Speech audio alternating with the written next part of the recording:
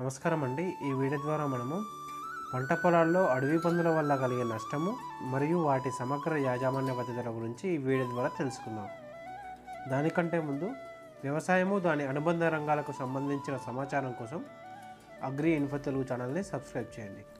ఇక విషయంలోకి వెళ్తే ప్రస్తుత వ్యవసాయంలో చీడపీడలు వాతావరణ సమస్యలు వంటి వాటితో పంట దిగుబడికి చాలా నష్టాలు అయితే కలుగుతున్నాయి.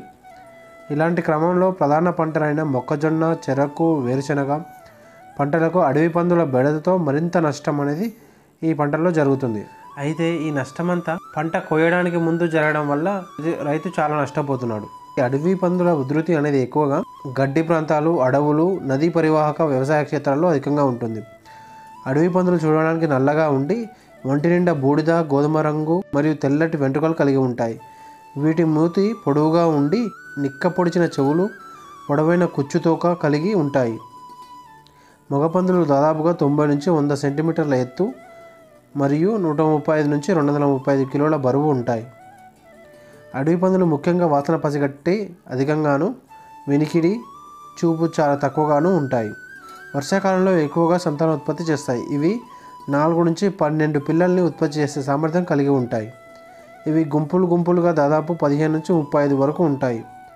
ఆడపందులు గుంపులకు నాయకత్వం వహిస్తాయి. ఈ అడవి పందుల ఆహారం మనం చూసుకున్నట్లయితే వ్యవసాయ పంటలు దుంపలు పురుగులు చిన్నపాటి జంతువులను ఇవి తింటాయి. అడవి పందుల వలన కలిగే లాభ నష్టాలు.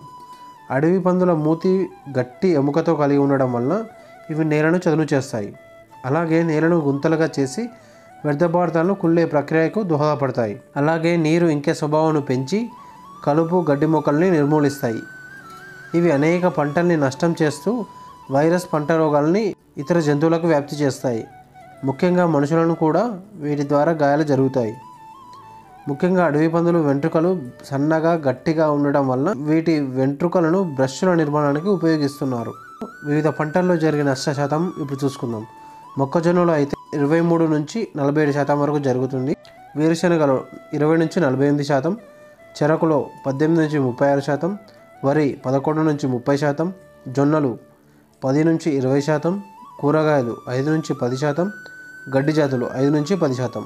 ఈ అడవి పందులను నిర్మూలించడానికి చేపట్టే వివిధ పద్ధతుల గురించి ఇప్పుడు మనం తెలుసుకుందాం. ముఖ్యంగా మూడు పద్ధతుల ద్వారా మనం ఈ అడవి పందులని మన పంట పొలంలోకి రాకుండా చేయవచ్చు. ఒకటి భౌతిక పద్ధతులు రెండు రసాయన పద్ధతులు మూడు సాంప్రదాయ పద్ధతులు. మొదటగా భౌతిక పద్ధతులు మనం చూసుకున్నట్లయితే ఇనుప తీగలు పొలానికి చుట్టూ నేల నుండి అడుగు ఎత్తులో రెండు మూడు వరుసల్లో చుట్టడం ద్వారా పంట పొలంలోకి వచ్చే అడవి పందులను రాకుండా నిరోధించవచ్చు. వేరుశనగ చుట్టూ కుసుమ పంటని నాలుగైదు వరుసల్లో లేదా మొక్కజొన్న చుట్టూ ఆముదం పంటని నాలుగైదు వరుసల్లో వేసి పంట నష్టాన్ని తగ్గించుకోవచ్చు.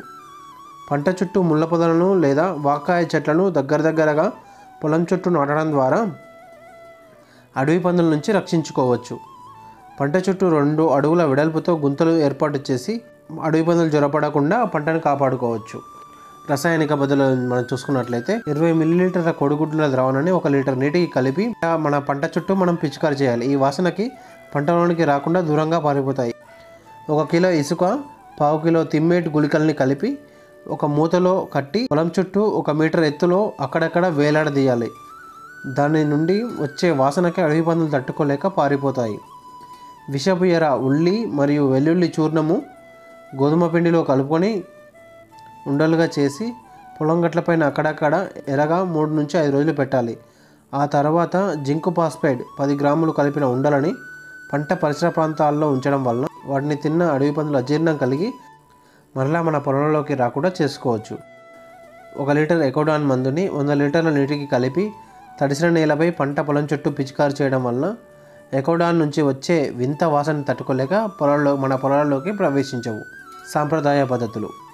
ఈ సాంప్రదాయ పద్ధతిలో మనకి ముఖ్యంగా కటింగ్ షాపులు లేదా బార్బర్ షాపుల్లో దొరికే వెంట్రుకలని పొలం చుట్టూ రెండు అడుగుల వెడల్పుతో అక్కడక్కడ వేయడం వల్ల పొలంలోకి వచ్చే అడవి పందులు చొరబడకుండా అరికట్టవచ్చు. గొనాడోట్రాపిన్ హార్మోన్ అడవి పందుల ఆహారంలో కలిపి వాటికి పెట్టడం వలన అవి తిన్న వాటికి అడవి పందుల పునరుత్పత్తిని చాలా వరకు అరికట్టవచ్చును. అడవి పందులు రాత్రి వేళల్లో పంట వద్దకు వస్తాయి. కనుక వాటి రాకపై నిఘా ఉంచి రైతులు సామూహికంగా శబ్ద ప్రయోగాలు అనగా టపాసులు టపాసులు కాల్చడం కేకలు వేయడం ఖాళీ డబ్బాలతో శబ్దాలు చేయడం వీటి వలన అవి భయాందోళనకు చెంది పారిపోతాయి. ముఖ్యంగా అడవి పందులు అధికంగా ఉన్న చోట వేట కుక్కలను పెంచడం వలన కొద్ది వరకు వాటి బెడదను అరికట్టవచ్చు. రేడియో ఎఫ్ఎం ప్రసార కార్యక్రమాలు ఇరవై నాలుగు గంటలు ప్రసారం అవుతాయి రేడియో ట్రాన్సిస్టర్ ఉపయోగించి పంట పొలాల సమీపం నుండి బిగ్గరగా శబ్దాలను ఉత్పత్తి చేయాలి. ఇలా చేసినందువలన మనుషులు ఉన్నారనే భ్రమకు లోనై భయపడి పంట పొలాల సమీపం నుండి దూరంగా పారిపోతాయి. పంది కొవ్వు గంధకం మిశ్రమం పద్ధతి. ఈ పద్ధతిలో పంది కొవ్వు మరియు గంధకం మిశ్రమాన్ని కొబ్బరి తాడుకు పూసి అది ఆరిన తర్వాత దానిని పంట పొలం చుట్టూ భూమి నుండి ఒక అడుగు ఎత్తులో రెండు వరుసలు చుట్టుకోవాలి. ఈ విధంగా చుట్టిన తాడు నుండి వెలువడే వాసనకి పందులకు చికాకుకు గురై పంట పొలంలోకి రాకుండా పారిపోతాయి. వన్యప్రాణుల చట్టం ప్రకారం అడవి పందులను వేటాడుట చంపుట చట్టరీత్యా నేరం. కాబట్టి వాటిని వీలైనంత వరకు ఆయన తెలిపిన పద్ధతులను పాటించి చేస్తే దాదాపుగా వాటి నిర్మూలన సాధ్యమవుతుంది. ఒకవేళ అడవి పందుల ద్వారా రైతులకి కూలీలకు ఆటంకంగా మారితే వాటిపై దాడి చేయకుండా వెంటనే డివిజనల్ అటవీ శాఖ అధికారి డిఎఫ్ఓకు సమాచారం అందించి వాటి నుండి రక్షణ పొందాలి. ఈ విధమైన యాజమాన్య పద్ధతులు పాటించడం ద్వారా మన పంట పొలాల్లోకి అడవి పందుల రాకను అరికట్టి రైతన్నలు తాము పండించే పంటలని నష్టపోకుండా చేసి అధిక లాభాలను పొందవచ్చు. Thank you. ఈ వీడియో కనుక మీకు నచ్చినట్లయితే లైక్ చేయండి. ఇలాంటి వ్యవసాయానికి సంబంధించిన సమాచారం కోసం అగ్రి ఇన్ఫో తెలుగు ఛానల్ను సబ్స్క్రైబ్ చేయండి. మీ విలువైన సలహాలను కామెంట్ రూపంలో మాకు తెలియజేయండి. Thank you.